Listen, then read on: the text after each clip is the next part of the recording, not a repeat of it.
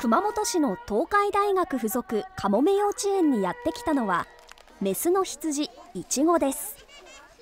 この幼稚園では動物との触れ合いを通して園児に命の大切さを学んでもらおうと毎年羊の毛刈り体験をしています。まずはいちごを育てる東海大学の職員が毛を刈っていきます。この日生まれて初めての毛刈りを迎えたいちごに園児たちは声援を送りました。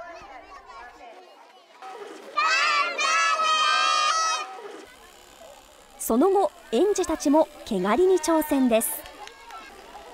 中には怖がる園児もいましたがいちごをすっきりとした夏らしい姿に仕上げました。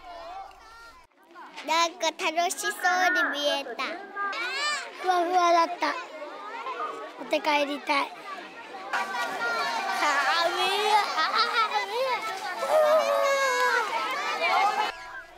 園児たちは刈り取った毛を記念に持ち帰っていきました。